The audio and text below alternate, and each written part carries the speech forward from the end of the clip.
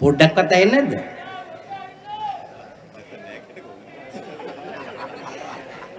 ඇහෙන්නේ නැත්තම් නෑ කියන්නකෝ.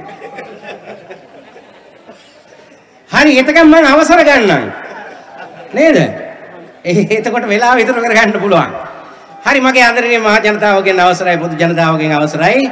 ඒ වගේම වේදිකාවේ ඉන්න අපේ ජාතික ජනබලවේගයේ ප්‍රධාන නියාමක අනුර සහෝදරයා ඇතුළු විජිත සහෝදරයා මහින්ද සහෝදරයා ප්‍රමුඛ ඒ වගේම ජය වේවා. ඇහෙනවද?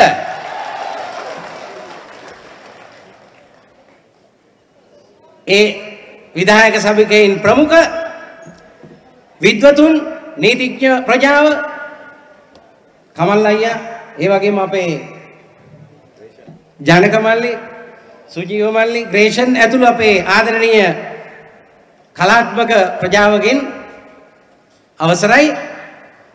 වෛද්‍ය ප්‍රජාව විශ්වවිද්‍යාල ආචාර්ය මහාචාර්ය ප්‍රජාව ඒ හැම දෙනාගේම අවසරයි. ආදරණීය හිතවතුනි මට මේ ඊයේ පෙරේද මතක් වුණා 70 දශකයේ. 70 දශකයේ මම පුංචි කොල්ලෙක්.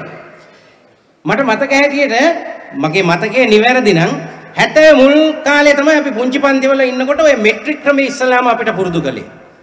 මේ රටේ ජනතාවට මෙට්‍රික් ක්‍රමය පුරුදු පුහුණු කරන්න ගත්තේ පාසල් වල ඒ කාලේ වෙන්න ඕනේ. ඊළඟට මට මතකයි අපේ වැඩිහිටියෝ අම්මලා තාත්තලා අපේ රටේ නිදහස් දිනය පෙබරවාරි 4 පවත්වාගෙන හිටියා. නමුත් අපිට පුංචි කාලේදී අවුරුදු කීපයක් ජනරජ දිනය පවත්වන්නට සමරන්නට අවස්ථාව ලැබුණා. මැයි 22. ඔබට මතක ඇති. ඒ වයසේ ඉන්න අයට. ඊට පස්සේ මට මතක් වුණා 70 දශකයේ 77 77 විවෘත ආර්ථික දේශපාලන සංස්කෘතියත් එක්ක මට හිතෙනවා අපේ අධ්‍යාත්මය ආත්මය මනස රසවින්දනය සාහිත්‍ය කලා රසාස්වාදය අගාධයට ඇද දමන දේශපාලන සංස්කෘතියක් පටන් ගත්තා කියලා. හැබැයි ඒ දේවල් නෙමෙයි මම මතක් කරන්න යන්නේ. 70 දශකයේ කලාවේ සාහිත්‍යයේ පුනර්ජීවනය. ඔබට මතක ඇති අපි අදටත් කතා කරනවා 70 දශකයේ නිර්මාණය වෙච්ච ගීතය, සංගීතය, නාට්‍ය, සිනමාව, පත, පොත, කවිය මේ හැම දෙයක් ගැනම අද අපි උදම්මනනවා. මොකද 70 දශකයේ ඒ නිර්මාණ සදාතනිකයි. අදටත් අපිට ඉතිරි වෙලා තියෙනවා. බලන්න 1974 පරාක්‍රම නිර්යල්ල නිර්මාණකරුවා සෙක්ව නාට්‍ය තුලින් කියනවා හරි අපූර්වට අපේ තට්ටු මාරු දේශපාලන ක්‍රමේ ආනිසංසය ආදිනව. මට මතක හැටියට මම නිවැරදි නම් 1976 ධර්මසිරි බණ්ඩාරනායක මහත්මයා ඒකාධිපති නාට්‍ය තුලින් වේදිකා නාට්‍ය තුලින් කියනවා රාජ්‍ය පාලකයෙකුගේ ඒකාධිපතිත්වයේ කුරිරුකම්. ලූෂන් බුලස්සිංහල මහත්මයා රතු හැට්ටකාරී වේදිකා නාට්‍ය තුල 1974 ඊට පස්සේ ආර්.ආර්. සමරකෝන් මහත්මයා ඉඩම කැලණිපාලම නාට්‍ය තුලින් අපේ සමාජීය විවිධ දේශපාලන පැතිකඩ මතු කරලා පෙන්නනවා. වැඩි ඈතකට මේ මේ අල්ලපු ඇටේ ඔය රේල් ගේට්ටුවට එහා පැත්තේ ඉන්න හිටපු ජීවත් වෙච්ච දයානන්ද ගුණවර්ධන මහත්මයා. එහා පැත්තේ. දයානන්ද ගුණවර්ධන මහත්මයා ගජමන් පුවත තුලින් සාහිත්‍යකරුවන්ගේ ශෝකාලාපය කියනවා. එහෙම නේද කමල්නේ? හරි. හැබැයි දැන් මම මේ කතා කරන්න යන්නේ 74 නිර්මාණය වෙච්ච සයිමන් මහත්මයාගේ සුබයස නාට්‍ය ගැන. නවගත්තේගම කියන ගම සයිමන් නවගත්තේගම මහත්මයාගේ සුබයස නිසා අපේ හිතේ පොතේ සටහන් වෙච්ච ගමක් බවට පත් වුණා. සයිමන් මහත්මයාගේ සයිමන් නවගත්තේක මහත්මයාගේ සුභයාස කතාව අපි කවුරුත් දන්නවා අපේ ඉතිහාස කතාවක්. යසලාලක රජුරෝ හිටියා යසලාලක තිස්ස රජුරෝ හිටියා. එයා හා සමානම රුවින් සමාන සුභ කියන ద్వාරපාලකයා හිටියා. ඒ කතාව තමයි සුභයාස නාට්‍යයට ගොනු වෙලා තියෙන්නේ. එතකොට මේ යසලාලක තිස්ස රජුරෝ හරි කොලොප්පමට කැමති. විහිළුවට කැමති. විහිළුවක් නෙමෙයි විහිළුවෙනුත් ටික පල්ලැහැ මට්ටමක තියෙන කොලොප්පම කියන එක. එයා ඒකට කැමති. ඒ නිසා සුබට කිව්වා අපි දෙන්න මේ ඔටුන්න වරින් වර මාරු කරගමු. හරි. මම ద్వාරපාලක වෙන්නම් ඒ වෙලාවට උඹ රජ වෙයන්. මං රජ වෙච්ච වෙලාවට කොහොමත් උඹ ద్వාරපාලක තමයි. ඔන්න ඔය විදිහට කතා කරගත්තා.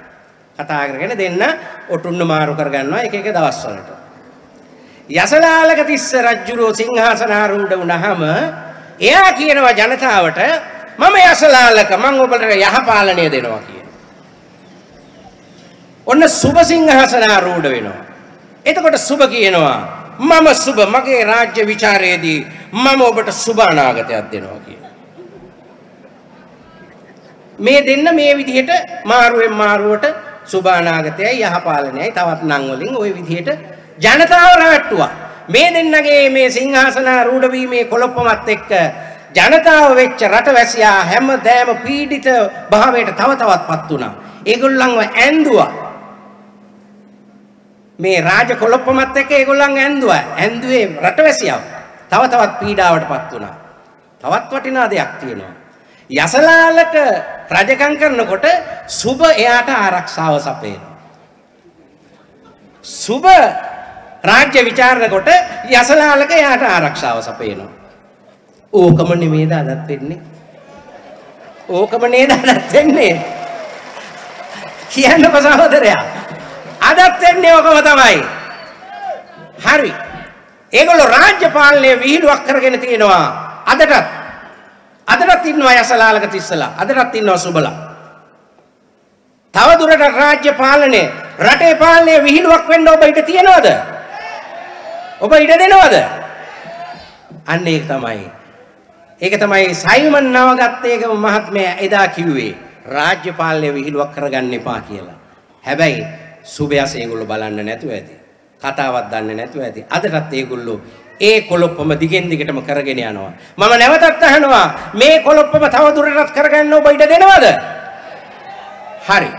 අන්නේ අන්නේ විහිළුව නවත්තන්න තමයි පොදු ජනතාවත් එක්ක එකතු වෙලා බිම් මට්ටමේ සරල අපි වගේ අපි වගේ බිම් මට්ටමේ ඉන්න මිනිස්සුත් එක්ක එකතු වෙලා මේ කොළොප්පම නවත්තන්න මහා බලවේගයක් ඉදිරිපත් වෙලා තියෙනවා. ඒක තමයි අනුර කුමාර සහෝදරයා ප්‍රමුඛ ඒ විධායක කමිටු සභිකයෝ ප්‍රමුඛ ජාතික ජන බලවේගය. ඒ නිසා මම කියන්න කැමති ආදරණීය මිත්‍රවරුනි. ඉතාමත් සතුටින් කියන්න කැමති. එදා සයිමන් නවගත්තේ ගම එතුමාගේ සුභයස නිසා අපේ හිතේ පොතේ සටහන් වෙච්ච ගමක් බවට පත් වුණා. ඊට පොඩ්ඩක් එහාලින් තියෙන තමුත්තේගම පොඩ්ඩක් එහාලින් තියෙන තමුත්තේගම නුදුරු දිනයකදී අපේ අනුර සහෝදරයා ප්‍රමුඛ ජාතික ජන බලවේගය නිසා අතේ හිතේ විතරක් නෙමෙයි ඉතිහාස පොතේ සටහන් වෙන දවසක් එනවා ඊටාම ළඟදී. සයිමන් නවගත්තේ මහත්මයා හිටියේ නවගත්තේගම අනුර සහෝදරයා ජන්මලාභය ලැබුවේ තමුත්තේගම. ඉතින් ආදරෙන් කියන්නට ඕනේ. ජාතික ජන බලවේගය මේ රටේ බලය ගත්තදාට සිංහාසනාරූඪ වෙන්නේ සිංහාසනාරූඪ වෙන්නේ ඔබත් මමත් වැනි පොදු ජනතාවයි. ඔබයි මමයි සිංහාසනාරූඪ කරන්න තමයි මේ ජාතික ජන බලවේගයේ ප්‍රමුඛ මේ විද්වතුන් මේ කලාකරුවන් මේ සාහිත්‍යකරුවන් මේ වේදිකාවට ගොඩ වෙලා තියෙන්නේ. ජනනියම කලා ශිල්පීන් හැටියට ශිල්පිනියන් හැටියට මම විතරක් නෙමෙයි මේ වේදිකාවේ තවත් කීප දෙනෙක්ම ඉන්නවා. ග්‍රේෂන් ජයමා ඉන්නවා, ජනක රණසිංහ ඉන්නවා, තවත් ආදරණීය හිතවතුන් ඉන්නවා. රටේ පැව කමල් කමල් පෙරේරා අපේ ප්‍රවීණ සාහිත්‍යදරයා ඉන්නවා. මේ හැමෝම එකතු වෙලා තියෙන්නේ කිසිදු ලාභ ප්‍රයෝජනයකින් තොරව මේ රට මේ රට මේ විහිළුවෙන් මුදවාගෙන අපේ අපේ ආදරණීය ජනතාවට සිංහාසනාරූඪ කරවීමේ අරමුණින් ඒ දවස ඉතා ඉක්මනින් නුදුරේදී ඇති වේවායි කියලා ප්‍රාර්ථනා කරනවා. හොඳයි. ඔබ හැමදෙනාටම ජය වේවා. මාලිමාවට ජය වේවා. ජාතික ජන බලවේගයට ජය වේවා. මගේ මාතෘභූමියට ජය වේවා. හරි. දැන් සින්දුව.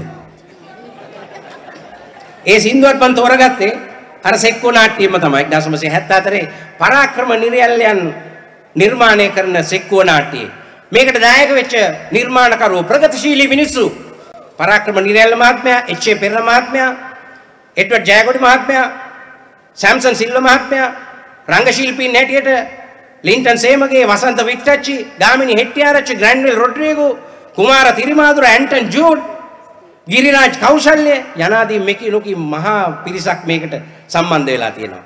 ඒ අයට ගෞරවය දක්වමින් ඔබ හැම දෙනාටම ජය වේවා. මේ තට්ටුපා තට්ටුමාරු දේශපාලන ක්‍රමය අවසන් කිරීමේ මහා අදිෂ්ඨානයට එක්රොක් වෙන්න කියලා ආරාධනා කරමින් අපි ගයමු පරසක්වල අපේ මහරජුරුව අපිට දුන්න බැටි.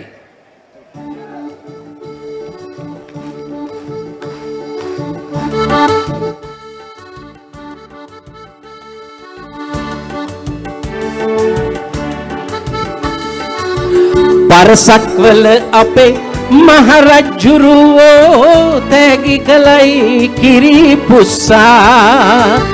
සරුබිම් හොයලා කම්වැලිවීලා පැන්නුවයි කිරිපුස්සා.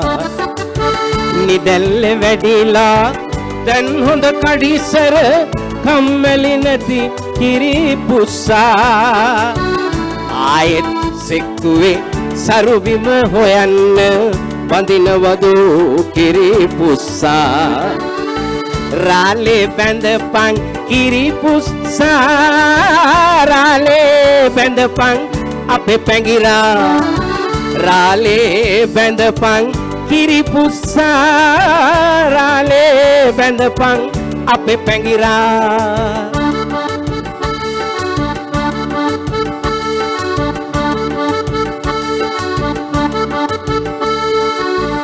දෙමුහුන් කුලයේ උපන්න කදිම වෘෂභයකි අපේ පැඟිරා නිතැල්ලෙ වැඩිලා දැන් හොඳ කඩිසර පැන්නුවයි අපේ පැඟිරා සරුබිම් හොයලා මුරණ්ඩු වීලා කම්මැලි වුණු අපේ පැඟිරා ආයෙත් සෙක්කුවේ සරුබිම හොයන්න බඳිනවදෝ අපේ පැඟිරා රාලේ බැඳපන් අපේ පැඟිරා රාලේ බැඳපන් කිරිපුස්සා රාලේ බැඳපන් අපේ පැඟිරා රාලේ බැඳපන් කිරිපුස්සා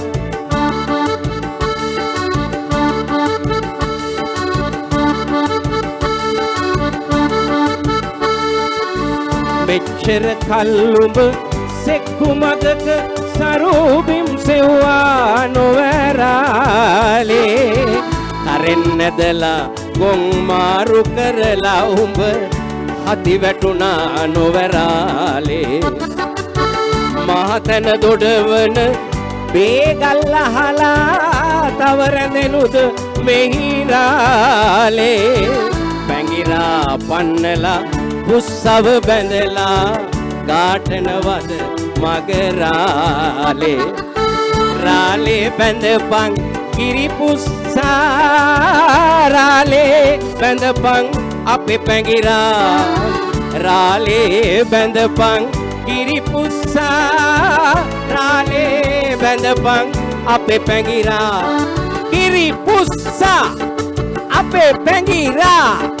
කිරිපුස්සා අපේ පැඟිරා තවත් පුස්සාටවත් ආයෙ ඡන්ද දෙන්න එපා.